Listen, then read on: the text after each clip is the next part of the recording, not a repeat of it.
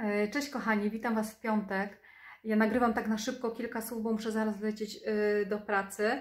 E, Słuchajcie, ja usunęłam ten przedostatni filmik e, i poczułam też ulgę, bo w sumie ta sytuacja została przez kogoś tam rozwiązana, bo dzisiaj dostałam komentarz od Wicki, która mi napisała, że już nie ma tego filmu e, pani Eli, o której jest cała afera w internecie.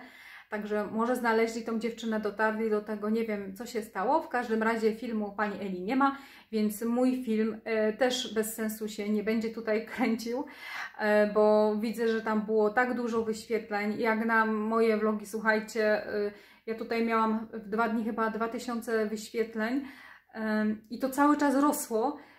I mnie to nawet przeraziło, bo ja myślałam, że taki film to jest tylko o tak między nami, w grupie osób, które tutaj się pojawiają na kanale, a tu nagle się ten film tak rozbuchał. I nawet przedwczoraj zwróciła mi jedna dziewczyna uwagę na to, że ten film e, może się przyczynić do tego, że jeszcze e, więcej osób zwróci uwagę na e, kanał pani Eli, no ale ja wtedy nie wzięłam tego w ogóle na poważnie, no bo w sensie kto będzie oglądał, a tu nagle 2000 wyświetleń. Dziękuję tej dziewczynie, która mnie poinformowała, bo ja nawet nie zwracam uwagi tam od, nie, nie oglądałam tych kolejnych filmów pani Eli, więc nawet nie wiedziałam, czy, e, czy ten film dalej się buja, e, czy nie.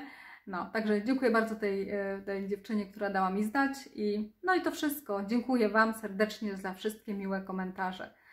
No, te miłe, te niemiłe też, bo tam było kilka takich niemiłych, ale też niektóre, które zasłużone. Także życzę Wam miłego weekendu i do usłyszenia. Pa!